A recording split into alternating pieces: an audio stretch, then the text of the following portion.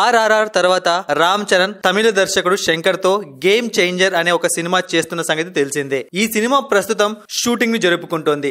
దిల్ రాజు నిర్మిస్తున్నారు. అయితే ఈ సినిమా గత కొన్ని రోజులుగా షూటింగ్కు బ్రేక్ ఇచ్చిన సంగతి కూడా అందరికీ తెలుసు. ఇప్పటికే పలు కారణాల వల్ల వాయిదా పడుతూ వస్తోంది. తమన్ దీనికి సంగీతం అందిస్తున్నాడు. అయితే ఈ సినిమా ఎప్పుడు వస్తుందో తెలియని సందిగ్ధంలో ఫ్యాన్స్ ఉన్నారు. శంకర్ కారణంగా అటు టీం కూడా తీవ్ర అసంతృప్తితో ఉన్నట్లు తెలుస్తోంది. ఈ సినిమా ముందుగా ఈ ఏడాది సమ్మర్లో వస్తుంది అన్నారు. అయితే శంకర్ ఎక్కువగా తన టైంను భారతీయుడు టూ సినిమాలో గడుపుతూ ఉండగా గేమ్ చేంజర్ షూటింగ్ డిలే అవుతూ వస్తోంది.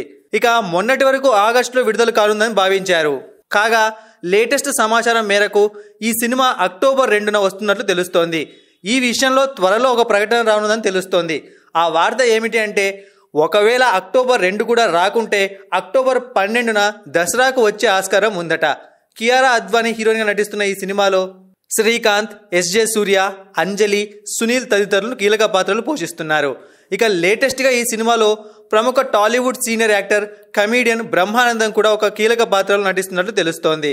ఇక రామ్ చరణ్ ఇతర సినిమాల విషయానికి వస్తే ఆయన తన పదహారో సినిమాను ఉప్పెన దర్శకుడైన బుచ్చిబాబుతో చేస్తున్నాడు. అయితే ఈ సినిమాలో ఒక కీలక పాత్రలో హిందీ హీరో టైగర్ ష్రాఫ్ నటించినట్లు తెలుస్తోంది.